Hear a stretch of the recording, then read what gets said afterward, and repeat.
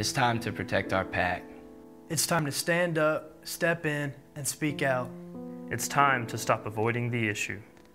Stop blaming others. Stop saying she should have been more careful. Stop saying she's just trying to get attention. Stop saying she was asking for it. Stop saying she shouldn't have been drinking. Stop planning on getting someone drunk so you can score. It's not a game, it's rape. Stop the porn and sexist jokes. Stop trying to cover it up. Stop assuming that silence means yes. Stop assuming and start asking every step of the way. Stop disrespecting and start respecting. Stop standing by and start stepping in. Let's start taking responsibility and acting responsibly. Start getting friends home safe. Start being a friend, not just a wingman. Start getting in the way before it happens. Start speaking up against sexual assault.